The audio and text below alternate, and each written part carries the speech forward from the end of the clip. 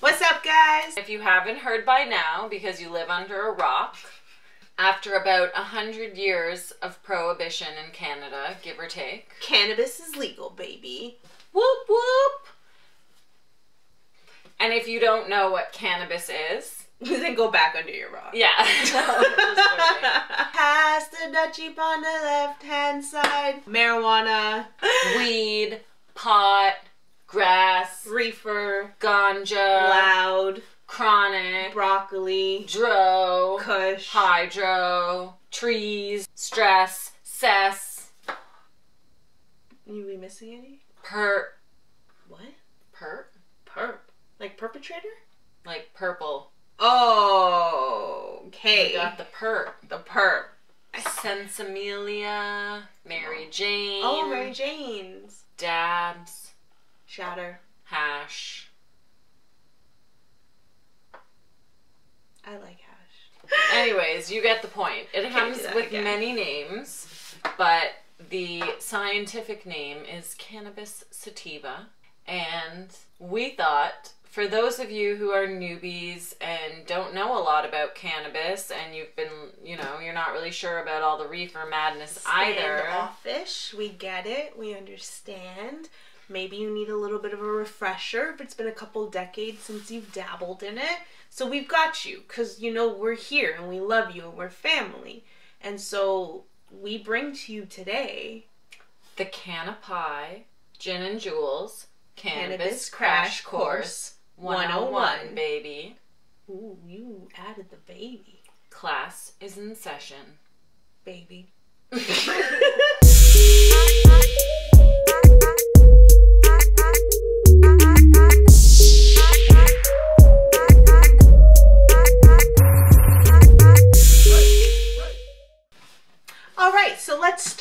the very, very beginning. In the beginning, God made the earth. Can we just skip to the Yeah. day of rest? yeah. All right. So, number one, what is cannabis? It's a plant, duh. It's that simple, folks. Number two, No, it's seriously just a plant. they call it weed for a reason. It's Yeah. a very resilient plant. The interesting thing about the cannabis plant is that the male plant produces pollen sacs that look like little balls. Mm. And as long as you keep the female away from the man and his balls, stay away from those fuckboys. See, even we's telling you. then she will produce beautiful flowers that Preach, girl, preach. that most of you know as buds or nugs. Those are actually the flowers on the female plant. And that is where the good good is. Sticky icky. The sticky icky. The buds are covered in little teeny teeny microscopic mushroom shaped crystals called trichomes. And inside those trichomes is where the active chemical ingredients, THC and CBD, can be mm. found. Very interesting. They think there are hundreds or many, many other active compounds other than THC and CBD, Yeah. but those are the most commonly studied, and so you're going to hear those words floating around a lot. What does THC stand for? THC is short for tetrahydrocannabinol. Wait, tetrahydra tetrahydrocannabinol. Cannabinol. Tetrahydrocannabinol. And CBD is short for cannabidiol. Okay, so why don't you tell us about different strains? Okay, so there are actually two different types of uh, cannabis sativas out there. Um, one of them being the sativa plant, and the other being the indica plant. You can think of it like roses. They're the same species, but they come in different colors. They also have different properties. So, uh, physically, the indica plants tend to be shorter and bushier, stockier plants, whereas the sativas tend to be taller and leaner and have their leaves spread out more. So, you can actually visually identify them. And so they have different like physical effects and psychoactive effects on the human body as well, right? Exactly. There's obviously a big range between different strains which in, within each category, Okay. but generally speaking, indica plants have that deep body, relaxing, Yeah. physical. Calm, Yeah, they're mellow. exactly lethargic. Yeah.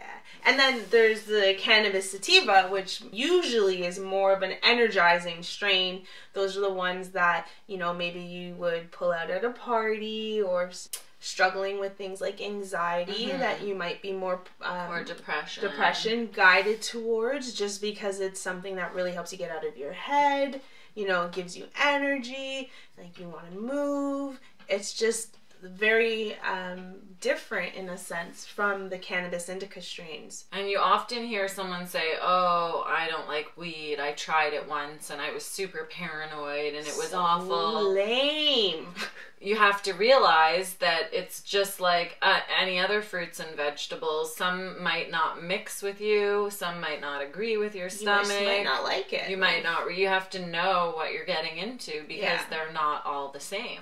like gone are the days where you just got whatever your neighborhood spider-man gave you Yeah. Now we have we have options we have all these resources too where you can really choose and pick the the side effects not Yeah. the side effects but the benefits that The you're looking for yeah like benefits like we said anti-anxiety antidepressant appetite stimulant or the opposite if you want appetite to suppression appetite suppression so good. Um, definitely a lot of like muscle relaxation, which is wonderful. anti-inflammatory Anti-inflammatory, hundred percent anti-inflammatory. everybody's different. It can also exacerbate a mental illness, so you have Mm. to talk to your doctor, and you know it depends what it is. That's fair. Um, Some people do swear that it is a cure-all, mhm. and so it's that's the other end of the spectrum, and that can also um, get a little sticky. Also good for digestive issues, especially edibles, because you they go through your digestive tract. Then it can help with mm. absorption. What a lot of people don't realize is that we have an endocannabinoid system hardwired into, our, bodies. So we were designed to coexist with this plant. It's really cool. That was really nice to coexist with this plant. hmm That was a really nice way of saying that. I'll take it. Thank you, Jesus. Amen. Amen. Hallelujah. Hallelujah. Do we have a tambourine? Can someone get us a tambourine over here? So a lot of people ask, what's the difference between hemp and weed? That's a really good question. Now, I just thought that it was a different, the plants were slightly different. It's the same plant. Oh, The only thing that makes hemp hemp is that it has a THC content lower than 0.4%. okay. So it has such a negligible amount of THC That it's that not it's not considered to be a drug. dangerous. Yes, so it's not considered to be a drug. It's just considered to be an agricultural plant that can be Right. used for all kinds of stuff like hemp hearts in your salad. It's So very good for protein. very good for also essential fatty acids and antioxidant and all that other stuff that we discussed. So put it in your smoothie and on your salad. And they can build cars with it and build houses and make paper. Hemp and- is the way of the future, so you can have hemp that's high in CBD. which doesn't have the psychoactive effects, but you will still get the body buzzes. and the other medicinal properties like the Anti-inflammatory. and antioxidant and all of that other stuff without getting high and feeling any psychoactive effects. Right. So good for mornings like work mornings. hmm Or when you're home with the kids. Or at the in laws or somewhere. Or children, when children need to use cannabis for medicinal Oh. reasons, like epilepsy, for example, Definitely. they give them CBD oil because they don't have any psychoactive effects. Okay. I've heard people give CBD to their pets. I've heard that too. So, what gives the different strains their colors or their scents? Because sometimes you can pick up like a piece of bud and it will smell like grapefruit. Within those two main types, sativa and indica, Right. We've all heard of different strains, like a Kush or OG. Gorilla Glue. Some of those are indicas, some of those are sativas, some of those are hybrids, and it's like they took two and made a baby, literally. Okay. So you get a little bit of this and a little bit of that, and it's a good Well, like balance. It's like you have a male plant of one pollinate a female plant of another. oh, And then the offspring of that will be a hybrid of the two. So within all those strains, what makes them different? To answer your question, terpenes. Asking you. Oh, terpenes. So terpenes, let's call them the compounds within the essential oils Ah, of okay. not just cannabis, of fruits and herbs and other anything plants. we can extract essential oils. That's what gives pine needles their smell, Right. and lemon and lavender. All of those are from terpenes. We'll do a separate follow up video to expand on this, but the point is So make sure you hit subscribe. the Thanks. point is, each of those terpenes has its own set of benefits and flavors. Ah. So it might give it a citrusy scent or a relaxing feeling. Right. So it's not enough to just know if it's indica or sativa, sativa. or THC or CBD. There are layers to this shit. Right, right. You gotta unpack all the layers to get the full picture of what it is. It's like Drake's emotions. It's Yeah. very deep. We need some OVO Kush or something like that in the mix. It would be like four hundred dollars for a gram. I know. All right. So there's different ways that you can actually consume cannabis. So you could obviously smoke it. Let's not act like nobody knows what that is. So you can smoke cannabis, um, You can hit the bong. You hit the can roll bong. a blunt or a one pape. It's my fave. or an L. Good old L's. If you want to go and take a ride with me, smoke a L in the back. Is that what he was saying? yeah. So you can hit the bong, roll a blunt, L pape, one pape. Highly recommend you vape instead of smoking. Smoking is fun and all, but you know, carcinogens and shit, so vaping is much better for your lungs. Mm-hmm.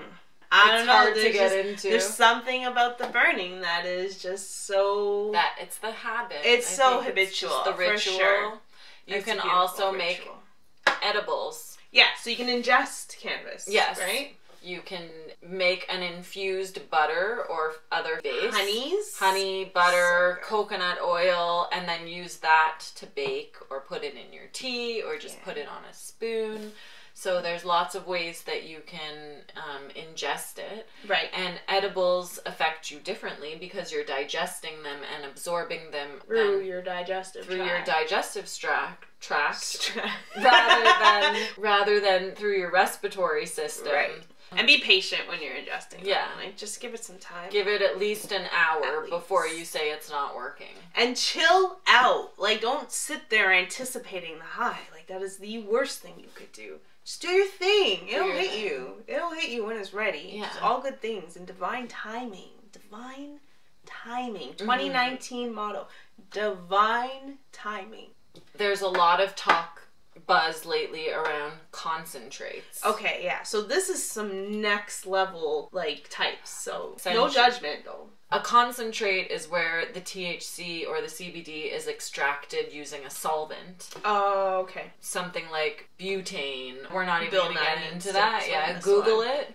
Yo, Bill, do a video on concentrates. We're Yeah. waiting. Oh, topicals. Topicals, yeah. Now, you know, you can make some balm, some lotions, put it in your sunscreen, salves, anti-aging creams. So good. Just like every other organ, if you put it on your skin, it absorbs. Yeah. And we've got that whole hardwired system in us. Exactly. No, and you can make your own by infusing cannabis into coconut oil, Yeah. for example. Anyways, Anyways. the point is you will get high from eating um, edibles with THC and from smoking them and vaping them. You won't get high from topicals. No. If you have muscle pain or inflammation, rub some Yeah. shit on that. It'll good. help. So where can you get cannabis currently in Canada? It depends on your province. Right. Here in Ontario, you have to right now you have to get it from the uh, Ontario Cannabis Store, and soon with our stupid lottery, you'll be able to buy it in 25 select locations. It's ridiculous. but that's another conversation.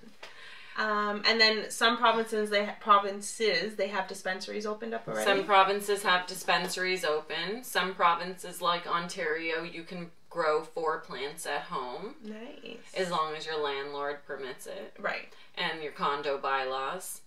And everything else that you have to check before you grow your little wheat. plant. Exactly. Sorry. So, so like everything else, be careful, exercise caution, and do your homework. Perfect. Google it. Yeah, God damn Google it, we've got shit. Google. We can't do everything for you. Yeah, Come on, don't guys. listen to me. I'm half Jamaican. And if you have a medical prescription, then you have your own set of rules, and you already That's know true. that. So Yeah. you know, We don't have to go on about that. no.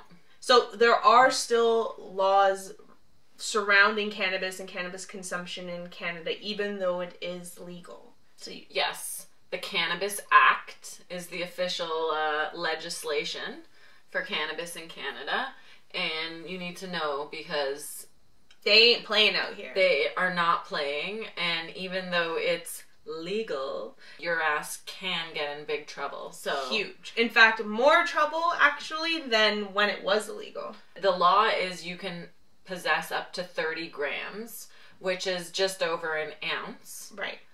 but you cannot drive under the influence of cannabis. Right.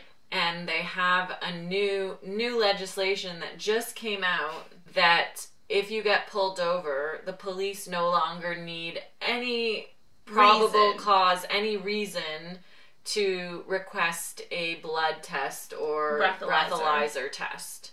Yeah.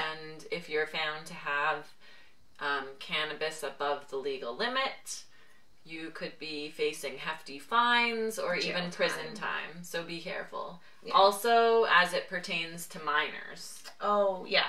So nobody under the age of 19 currently should not be getting their hands on cannabis. Mhm. That is our legal age, 19, same as our drinking Same age. as our drinking age. Right. And if you're caught providing. providing to a minor, there can be also. huge tens of thousand dollars worth of fines Or up to 14 years in prison. Right. So there are studies that do show that minors under 18 that it can affect their cognitive development. 100%. So we can't be ignorant to that right No. so so unless your doctor is prescribing it for a reason, Yeah.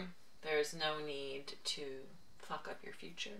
Yeah don't do it just wait just wait till you're 19 then smoke a joint have a beer come on But house plants are a good thing. So if you're in a province that, you know, allows it, again, it's called weed for a reason. It's, Yeah. you know, resilient it's a resilient plant. It's not some scary alien. So or a batch of chemicals in like a bathtub it's just the plant people. Don't don't lose your brains over it. listen listen it's not the end of the world don't There- let them tell you this is a big deal this is a distraction There are much more dangerous house plants out there, like calla lilies that are, and Calla lilies? poinsettias are fatally dangerous if you eat them.